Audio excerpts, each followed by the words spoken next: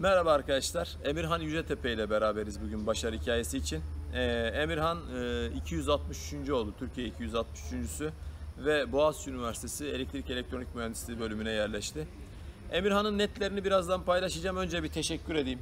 Katıldığı için, geldiği için. Teşekkür. Ee, Emirhan'la yazdan beri görüşüyoruz. Yaz aylarında Urfa'daydı. Sonra bayağı bir Türkiye'yi dolaştı. En son dedim ki okul açılınca görüşürüz. Kısmet bugüneymiş.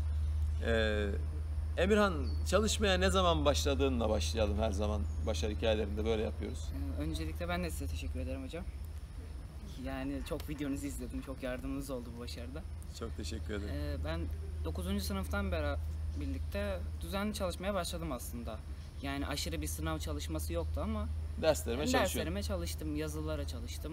Okuldaki denemelerimiz vardı. Bizim sınıfımız da iyi bir sınıftı. Hı hı. Ee, ona çalıştım. Fakat tam net çalışmam 9. sınıfın yazından başlayıp 10. sınıfı kapsıyor. Çünkü ben 12'ye geçtiğimde sadece fizik konularım kalmıştı.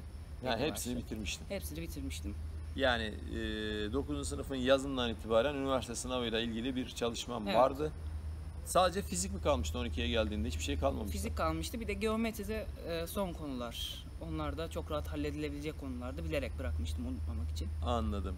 Bu peki e, bütün arkadaşların böyle mi çalıştı yoksa sen kendi kendine bir azim yapıp hani Yok bütün arkadaşlarım değil.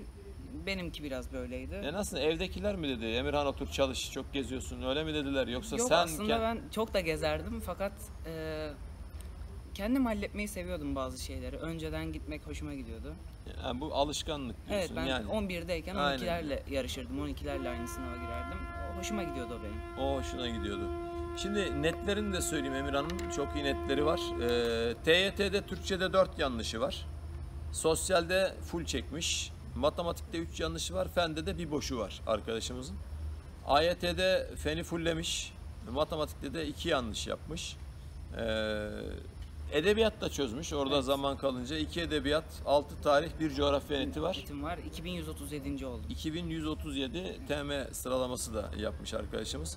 Peki e, elektrik elektronik hep istiyor muydun? Yoksa hani puan geldi Boğaziçi elektrik elektronik hani Şöyle e, ben 11'in sonuna kadar tıp düşünüyordum. Hatta kalp cerrahisi düşünüyordum. ha, Fakat sonra e, daha derinlemesine bir araştırma yaptım. Yani gerçekten ben onu istiyor muyum yoksa bana dayatılan şeyler üzerine mi ben tıp seçtim Hı diye düşündüm.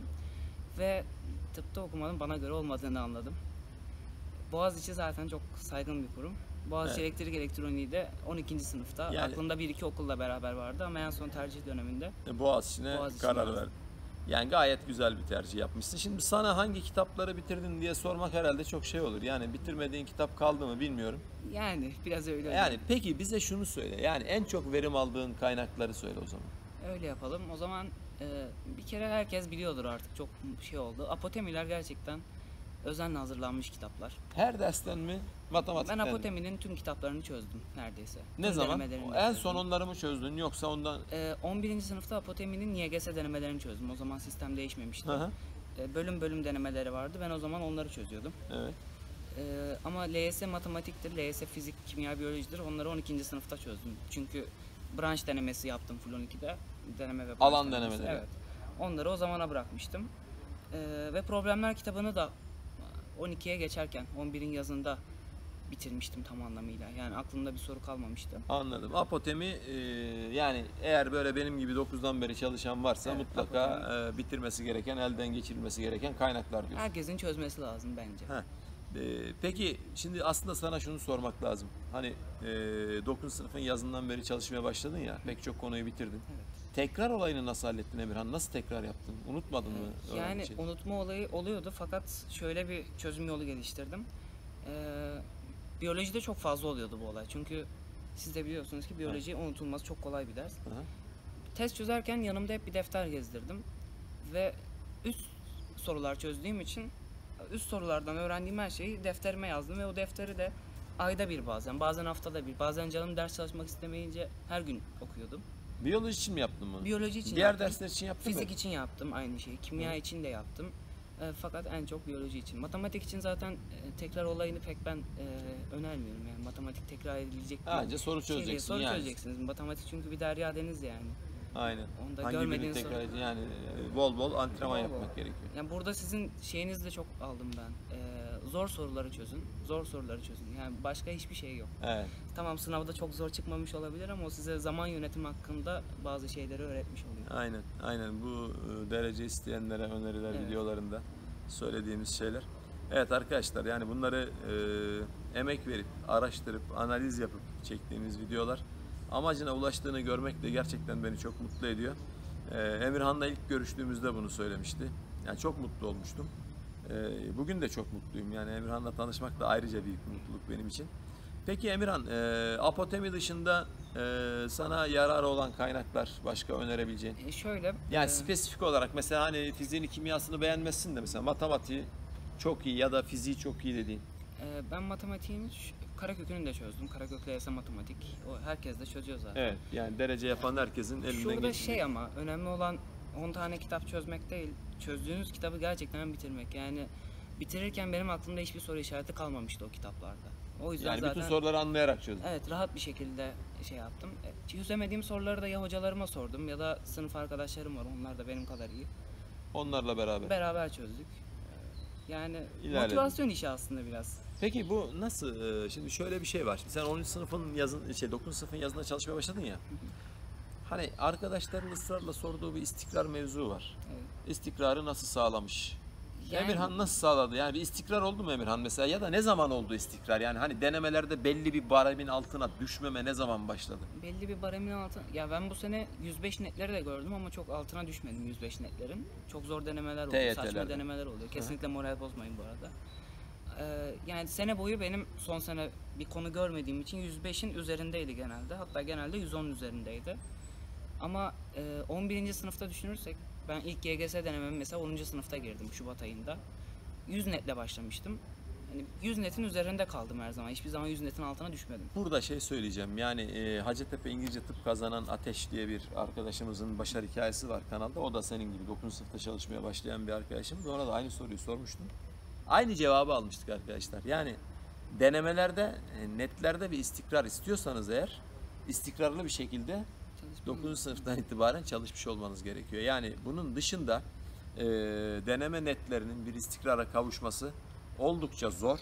Belki son ay hani bir yerlere son gelir. aylarda çünkü Aynen. artık her şey oturmuş oluyor Evet, yerine. orada belki hani konular tamamen bitmiş, üzerinden geçmişsiniz, tekrar etmişsiniz. O zaman bir istikrar olabiliyor ama onun dışında hani eee, çok fazla istikrar beklememek gerekiyor.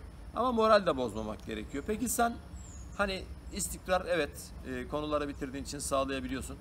E, bu seni eee, bu mu motive etti seni yoksa e, başka motivasyon kaynakların var mıydı yani? Yani şöyle gerçekten bir yerden sonra insan sıkılıyor çünkü e, çok genç yaştayız yani. Bu ders çalışma ortamı tabii ki zor bir durum. Ama e, böyle hedefleri belirleyin kendinize. Ben duvarlarıma işte Koç Üniversitesi'nin posterlerini asardım, buranınkini asardım. Bir iki okul daha vardı onları asardım. Ve onlara baktıkça sınıf arkadaşımla beraber biz oraya gideceğiz, orada beraber maça gideceğiz, orada beraber bir konsere gideceğiz. Bu gibi şeyler beni motive ediyordu. Ya aynen hani o zaman çalışıyoruz ama oraya gittiğimizde de Oraya gittiğimizde de oranın hakkını vereceğiz. çıkaracağız ya. Oranın hakkını vermek lazım. Ne güzel ama ne güzel. Yani şimdi hatta başarı hikayesi çekmek için işte arkadaşlarımız var. Bayağı kalabalık bir grubuz. Emirhan diyor ki yani kulüplere gideceğiz hocam. Kulüplerde işimiz var. Yani Şimdiden başlamış gideceğiz. yani. Evet. Daha pazartesi dersler başlayacak ama Emirhan kulüplerin peşinden koşmaya başlamış. Gayet güzel. Peki hiç e, umutsuzluğa kapıldığın oldu mu Emirhan? Evet yani şöyle ki e, Türkiye genelliği sınavlarına girdim hepsine neredeyse. Bir tanesinde hiç beklemediğim bir derece geldi. 700. falan olmuştum. Sınava da bir buçuk ay vardı. Evet. Ben galiba yanlış bir şeyler yaptım ki bu böyle bir sonuç geldi diye düşünmeye başladım bir iki gün. Bu arada öyle bir iki günleriniz olacak, çalışamayacaksınız. Ee, insan yüzü görmek istemeyeceksiniz ama bunlar geçici, şey yapmayın. Bunlar oluyor, her insanda oluyor. Yani Ama sonra e, buraya kadar geldikten sonra bir emek var ve bu emeğe ihanet etmek çok saçma olur diye devam etmeye başladım yani. Her yani zaman, kendi kendini telkin ettin burada evet, değil her mi? zaman e, bir refresh yöntemi bulmaya çalışın. E, bir iki gün ders çalışmayın. E, sinemaya gidin. Böyle şeyler yapabilirsiniz. Yani Çok kafayı boşaltmak lazım. Başka Tabii şeyler düşünmek lazım. Yani ben şöyle söyleyeyim, kimsenin e, her gün ders çalıştığına inanmıyorum. İnanamam yani. 10 dakika falan ders çalışmak değildir de. Yani- Ama hani e, Emirhan şey var ya süreklilikten bahsediyoruz ya. Tamam mesela bir gün ders çalışmasın ama 6 gün. Ya 6 gün çalışmak zorundasın ama Ha yani bir günü full boş bırakmayıp mesela hani bir gün öğleden sonra çıkıp ertesi Yani, gün öğleden sonra aynen. çıkıp ya da iki 7 güne gün böyle. Ha. 7 gün 6-8 saat çalışmak değil de 5 gün 6-8 saat çalışıp diğer günler 2 saat Ha, çalışabilirsiniz. aynen o şekilde yapabiliriz diyorsun. Peki bu süreçte seni en çok zorlayan şey ne oldu? Yani en çok zorlandığın şey neydi yani mesela? Hiç böyle Ee, en çok zorlayan şey uykusuzluktu biraz. Ben uykuyu çok severim o biraz beni zorlamıştı. çok mu uyuyordun? Yani çok denemez aslında 8-9 saat yatıyordum. Ee, Biraz azaltmaya çalıştım 7 saatlere falan çektim. Başarabildin mi? Başarıyorsunuz ya isteyince oluyor. İsteyince oluyor. Yani bir 10 gün falan böyle zorlanır insan ama 11. Çözüm gün yöntemleri var. Değil mi? Biraz sağlıksız olsa da evet, bazı yöntemler var. uykusuz kalma yöntemleri var. Peki eee, pek çok öneride bulundun zaten hani konuştuğumuz süreç boyunca. Arkadaşların hani şunu mutlaka yapın ya da yapmayın diyeceğim bir şey var mı Emirhan? Ee, şöyle söyleyeyim, kendinize belirli periyotlar belirleyin. Ben mesela şey yapardım belli bir döneme kadar. Bir Türkiye genel sınavı olurdu. Büyük ihtimalle aralarında bir ay olurdu. Bir ay içinde ben onda yaptığım yanlışları bir listeye dökerdim. Ve bir ay sonra gireceğim sınavdaki netimi hesaplamaya çalıştırdım. Yani ben bu netin altına düşmemeliyim. Düşersem de onun bir şeyi olurdu. Ee, yaptırımı olurdu kendi çapımda. Ne mesela ne yaptırım oluyordu? Ya yaptırım da aslında şöyle. Yani o hafta dışarı çıkacaksam mesela çıkmazdım. O. Cezalandırıyordun kendini. Yani bir bakıma. Ceza testleri falan oluyor muydu? Yani onu aslında konuşuyorduk ama yapmıyordum genelde. Buradan hocama da saygılar, selamlar. Hoca mı diyordu ceza testi yapalım, Evet. ceza keselim diye. Evet. İddiaya gidiyorduk. O beni motive ediyordu. Mesela işte şu sınavda sen ilk yüze girersen ben seni yemeğe götüreceğim. Giremezsen sen bana gömlek alacaksın gibi şeyler oluyordu. Bu sizi çok e, motive ediyor. En azından insanların size güvendiğini hissediyorsunuz. Kim kazanıyor peki? Ben kazandım. Emirhan evet yani çok eğlenceli ve güzel bir e, söyleşi oldu. Ben çok teşekkür ediyorum teşekkür katıldığın için. Umarım e, Boğaziçi Üniversitesi'nde ilerleyen dönemlerde yine ziyaret ederiz. İnşallah Yine beklerim bir hocam. Ben bölümünü imkanı olur. tanıtmak için, buranın ortamını tanıtmak için sizi beklerim. Her Öğrencilerinizi zaman, beklerim. her zaman inşallah. Hepinize sağlıklı ve başarılı günler diliyorum. Hoşçakalın Hoşça kalın. arkadaşlar.